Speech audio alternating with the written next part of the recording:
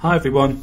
So in this video, I want to change gears and instead of doing a devlog, I'd like to do a video on my first mobile game called Grunts. What things I learned from it, what things worked, what things didn't. I kind of teach people that your first project, not to take it too seriously. You, you want to treat it as more as a stepping stone towards something bigger. Because the game I'm about to show you now, it's not perfect, it's full of imperfections and glitches and stuff, but it works well enough so people are able to play it. So I think this video will be a lot of fun, and uh, I hope you enjoy. So, this is Ralph, and one day Ralph was just walking around, minding his own business, until one day he gets attacked by a grunt. And in fact, the grunts hate him so much that they keep trying to attack him even after he's knocked out. And yeah, that's the story of the game.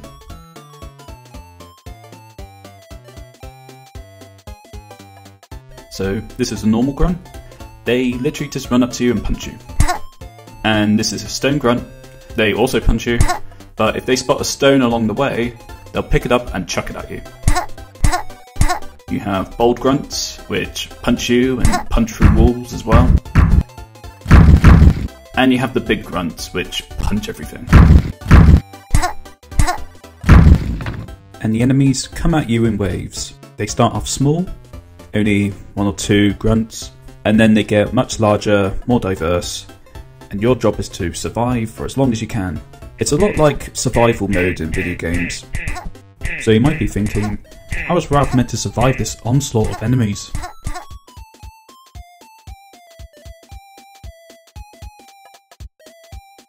So the first weapon is the baseball bat. You press A to do a small swing, and then you can press B, which does a kind of wind up big swing that sends them flying. A fun little fact uh, about this game that I didn't actually know until making this video.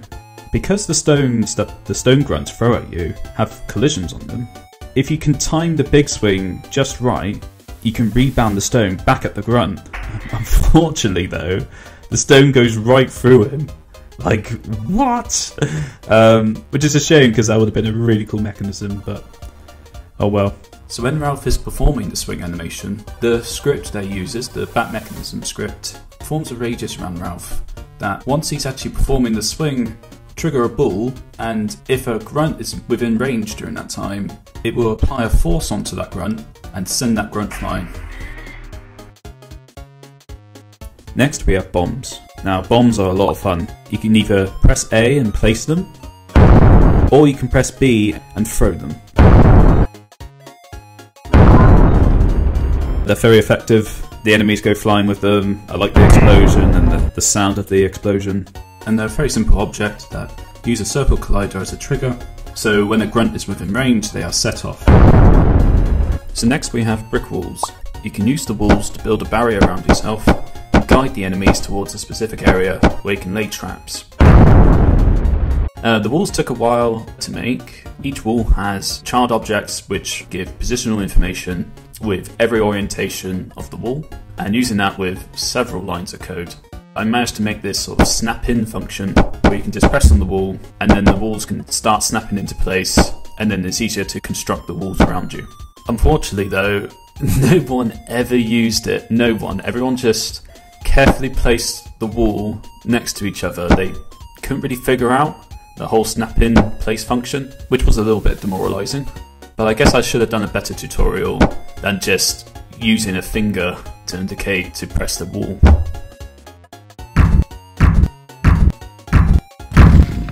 And I also made the walls destructible as well, and this can make for some fun escape situations. And finally we have holes, which are probably the most powerful tool in the game. You use it the same way as you would with walls, you just place them, and then grunts fall into them. And you can probably clear a whole screen of grunts just by placing holes.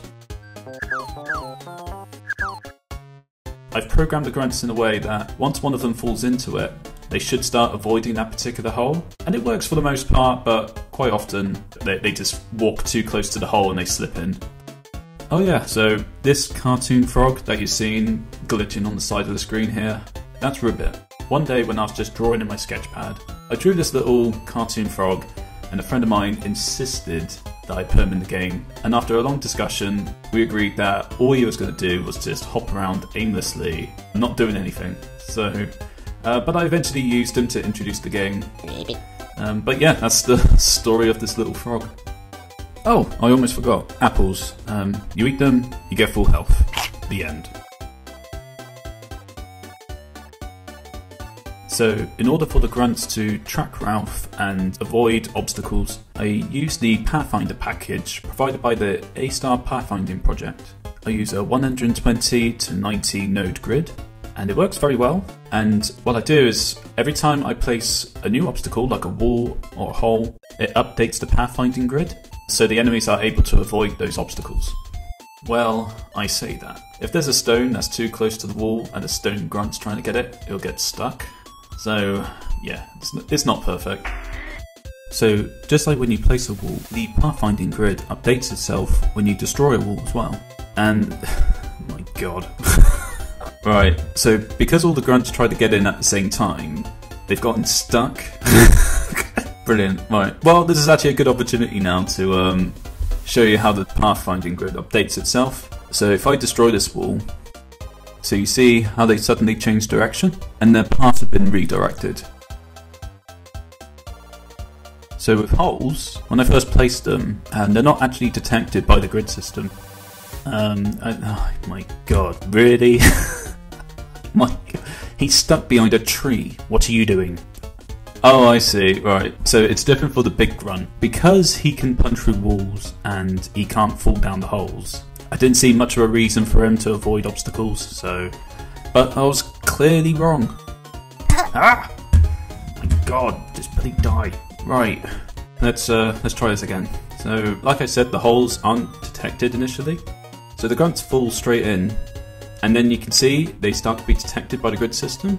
So the grunts start to move and avoid it. And, and the grunts behind me uh, just pushed me in, and they also fell in as well. This, this is such a great game.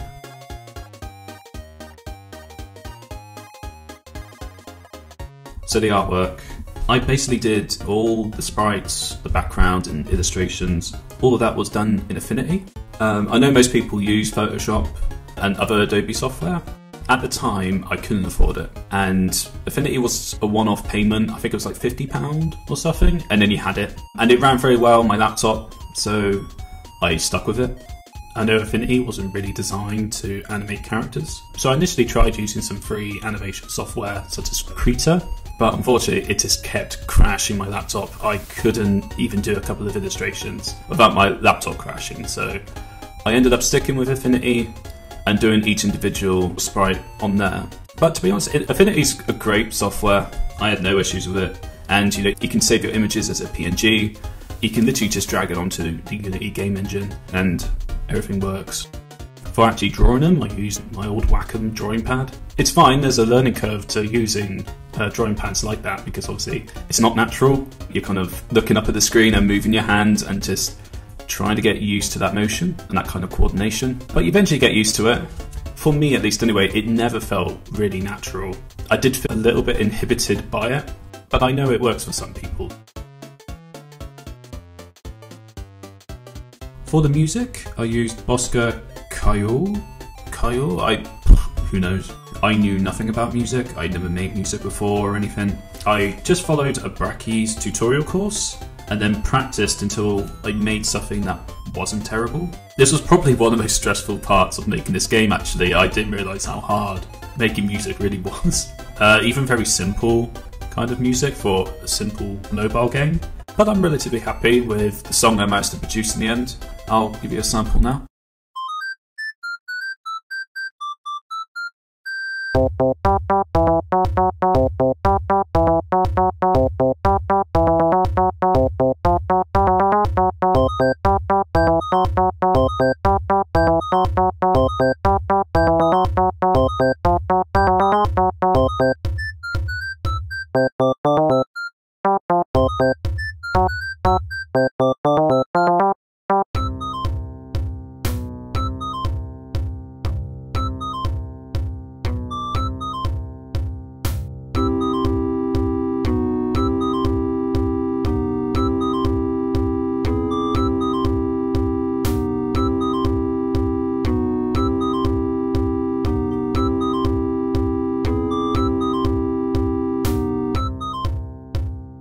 So for the voices of the characters, I just got my friends to do a recording on their phone and send it to me, and then I would upload it to Audacity, and then obviously played around with it until it sounded right.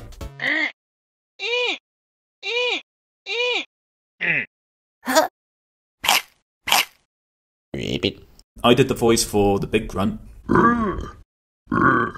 For the sounds of the baseball bat and placing the ball and the bombs exploding, I got those sounds from freesound.com, which is easy to use and you just literally search what you want. Yay! Yay! Yay!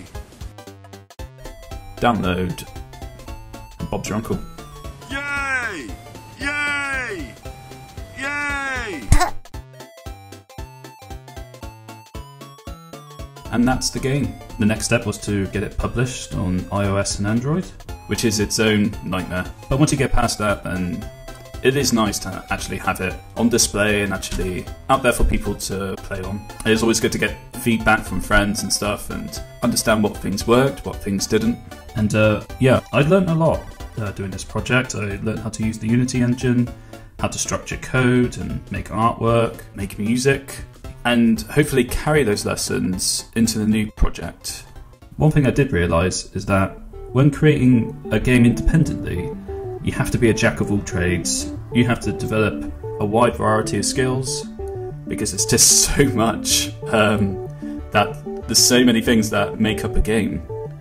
But through that process, you start to identify where your strengths are, and then those are skills that you can really hone in on with later projects. And now with the new project, I want to create smoother and better looking art. I want the animations to be more dynamic. I'm going to get someone else to do the music for me, uh, someone more, with more experience and who's far more talented than I am. And, and to be honest, with the way it's going so far, and I don't want to sort of blow my own trumpet here, but it's not even comparable. I think it looks so much better than it did before, and I'm very pleased with that. Some of the improvements I think are due to changes in hardware and software as well. So I've updated my laptop since, so everything just runs a lot smoother and I don't have to worry about things crashing. I started using animation software, so I'm using Adobe Animate, which has a bit of a learning curve to it. But once you get over it, then yeah, it's just you would never go back to using Affinity.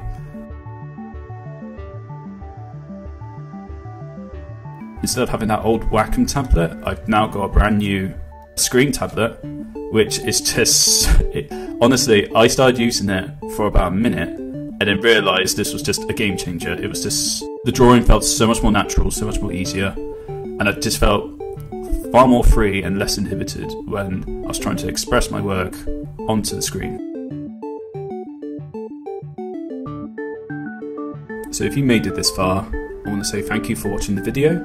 If you would like to see updates on my new project, then please consider subscribing. This project is going to be a lot bigger, with more characters and a story, and I'm very excited about it. Until then, here's a sneak peek of my next devlog, which will be coming up soon.